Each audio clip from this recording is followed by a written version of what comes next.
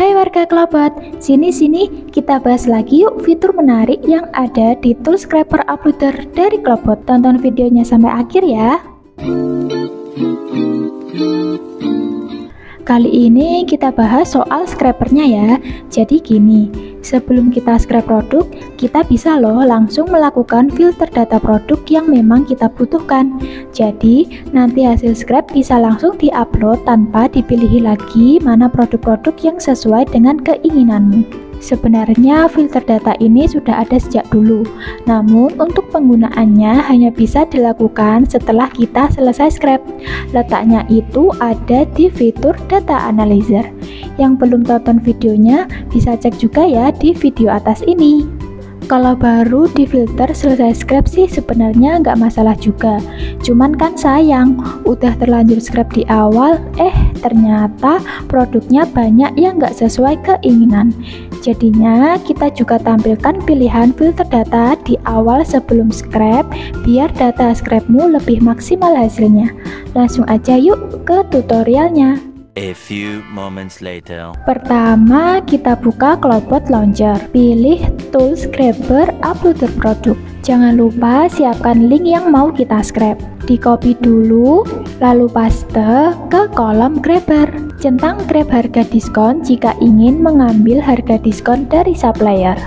Nah, untuk filter data ada di menu data tambahan ini ya. Oh ya, khusus Shopee perlu isikan akun Grab dulu berupa username dan juga password akun Shopee untuk keperluan login. Oke, kita bahas satu persatu terkait filter datanya ya. Jadi, nanti hasil scrap isinya adalah produk yang sesuai dengan filter yang kamu tentukan di sini dan otomatis skip produk yang tidak sesuai dengan filter. Pertama, harga produk. Ini berfungsi untuk melewati produk dengan minimal harga dan maksimal harga. Di sini saya kasih contoh minimal 40.000 dan maksimal 100.000. Maka produk dengan harga di bawah 40.000 dan di atas 100.000 akan otomatis di skip dan tidak ikut terscrap. Kedua, produk terjual. Ini berfungsi untuk melewati produk dengan minimal terjual dan maksimal terjual. Di sini saya kasih contoh minimal 2 dan maksimal 100.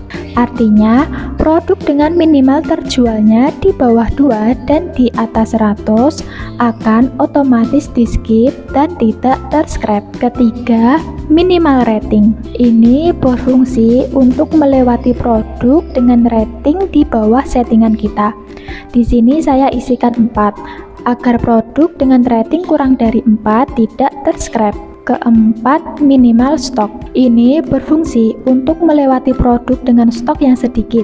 Di sini saya kasih contoh 10. Artinya, produk dengan stok di bawah 10 akan otomatis skip, hanya yang memiliki stok minimal 10 yang akan terscrap.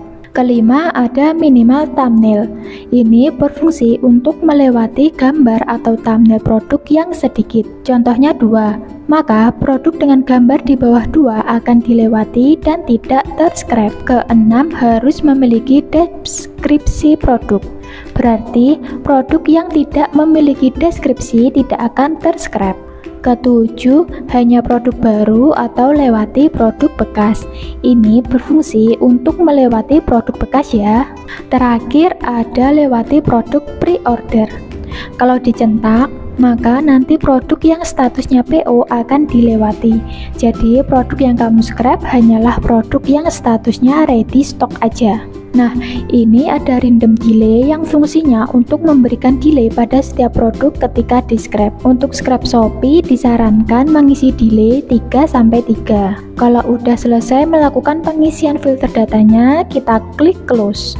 Lanjut, kita mulai scrap dengan klik start grab.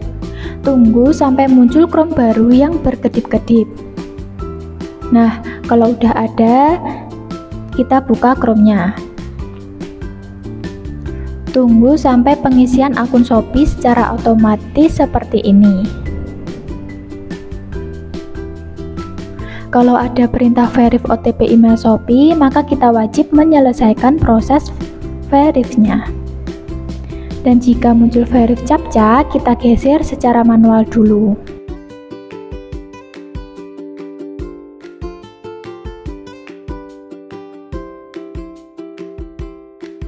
Untuk verif OTP email secara manual, caranya buka dulu email, terus cek inbox dari Shopee.